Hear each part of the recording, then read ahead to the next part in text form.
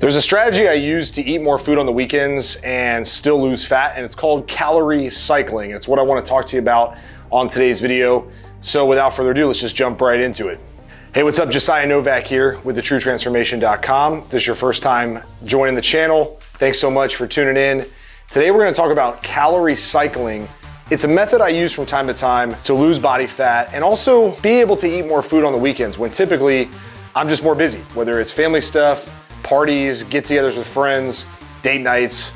I wanna be able to eat more on the weekend. So I set my nutrition up in a way that allows me to enjoy more food on the weekend while simultaneously still losing fat during the course of the week. And I wanna break this down for you so maybe you can use it too during holiday season or to get ready for the summer or whenever you're trying to lose body fat. This might be a strategy that works really well for you. So first things first, let's define what exactly is calorie cycling. Let me just be clear up front. There's literally no magic to this.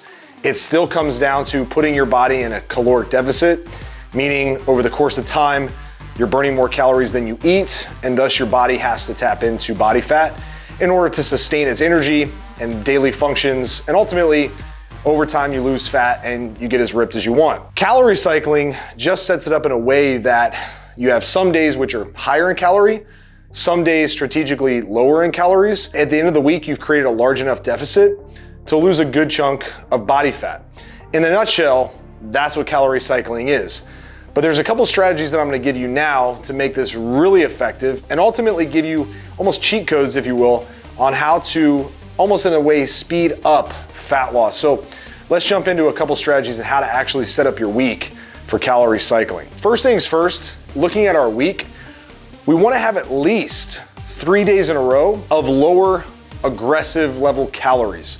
Now, this is not starvation. This is not, you know, zero calories or zero carbs or anything like that. It's putting your body in roughly a thousand calorie deficit. All right, so what does that look like? Well, the easiest way to determine what your thousand calorie deficit would look like would be first to find your maintenance calories. So maintenance calories there's a calculator that you can use that I've put together for you. I'll put the link in the description of this video. You can check that out. But an easy way is just to take your body weight times 12 to 14. So for me, that equals roughly 3,000 calories a day. That's what I would need every day to maintain my weight. So if I wanna create a 1,000 calorie deficit, I'm gonna bring my calories down to about 2,000 a day, sometimes even more but usually I'll set a range. For me, it's usually 1600 calories a day to 2000 calories a day. I'm only gonna do this for three days in a row. That's it, no more than that. Any more than that, and I start to have crazy low energy, my appetite starts to go nuts, and it's not sustainable. Now, keep in mind, this is totally optional. Like, you really don't have to do this to lose fat. I'm just giving you the way I set it up so that I can go out and enjoy extra food on the weekends with my wife or have some ice cream with my kids and not really worry about it. So for me, I pick Monday, Tuesday, Wednesday because those are my busiest days of the week. I have work stuff all day, kid stuff at night. I'm basically nonstop, so I really don't think about food. I typically drink a ton of water, some caffeine, stay busy, and stick to mostly protein during the day. I'll save most of my fun calories, my carbs and fats, for at night. We're not gonna get into specifics around carbs and fats, just keep in mind we're just focused on calories and this is gonna set you up with a very, very good blueprint for success with calorie cycling. So Monday through Wednesday, I have low calories. You could do Tuesday through Thursday. Heck, if you have a crazy weekend schedule, you could do this on the weekend, Friday, Saturday, Sunday. But I like to have at least three days. If you wanna get more aggressive with this, you could do four days in a row, but honestly, I would just stick to three. On day number four, this is where I typically have a date night on Thursday nights, and I like to set aside a almost maintenance day for day number four. So I'm taking my calories all the way back up to like 2,500 to 3,000 on day number four. This gives me a nice mental break and it gives me extra calories to play with. Now on Friday and Saturday, I bring my calories to a very maintainable fat loss level. For me, this is a 500 calorie deficit. So if you're keeping tabs at home, so far we've set a 3,000 calorie deficit for the week, Monday through Wednesday, because we did a thousand below our maintenance for three days in a row. We brought it up to maintenance. We're close to it. Might still be in a small deficit on Thursday, but we're not really concerned about being in a big deficit. Just start trying to give ourselves a mental break and prepare us for the weekend ahead. So Friday and Saturday, I have about 2,500 calories or maybe 2,400 on both those days. But a key thing that I do on Friday and Saturday is I'll fast for most of the day. So I don't eat from the time I wake up till about two or three o'clock in the afternoon. That gives me a full chunk of calories to play with. So heck, on Saturday night, if I'm going out for a party, I might not eat anything until I go out. And once again, this is not something you have to do. I just wanna make sure you know this is totally optional. You, you can experiment with this, you can play around with this kind of stuff. But ultimately what I'll do is I'll go out on Friday and I'll have something that I'm just craving Friday night, or excuse me, Saturday night. Might do it Friday. If I do it Friday, I probably won't do it Saturday. And I'll still fast Friday and Saturday no matter what. And then on Sunday, I do a long fast. And guess what? On Sunday, I only have one big meal. This is the key.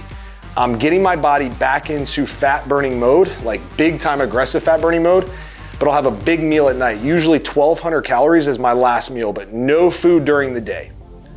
All right, so I cut my calories down to about 1200 on Sunday, but I have one big meal. So I'm not going to bed hungry. I'm not starving. The hardest part of this whole calorie cycling thing is Monday through Wednesday. Usually Wednesday's the hardest day. Sometimes even Tuesday, and Wednesday's kind of like, all right, I'm used to it now. But I know on Thursday, I'm gonna have upwards of 3,000. Sometimes I'll even go over 3,000, like 3,200. But if we do the math, this is the calorie deficit I'm creating. I'm creating 3,000 calorie deficit Monday through Wednesday. Then on Friday and Saturday, I'm adding another 1,000, 500 each day.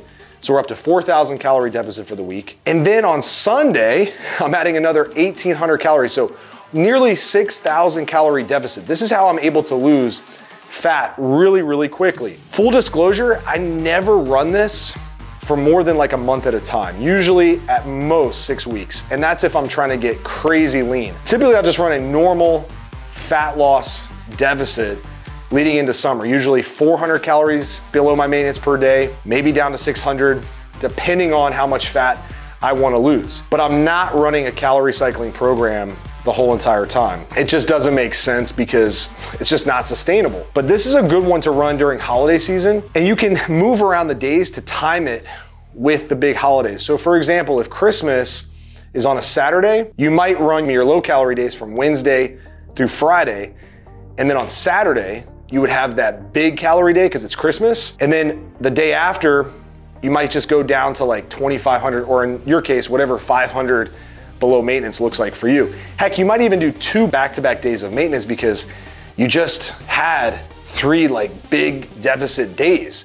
So you're not that worried about it. This is a good way to set up a week around big days where you know you're gonna be eating a lot more. And guess what? On Christmas, if you don't track any calories, who cares? Because you know in the days following, you're gonna get right back on track and your appetite's gonna get under control relatively quickly because you're not jumping back into aggressive calories, you're jumping into a very moderate calorie deficit for at least two days afterwards. So you can ease back into the fat loss phase. And after a week cycle goes by again, you're gonna get rid of any water weight or any retention or any fat gain that you had over the Christmas holiday.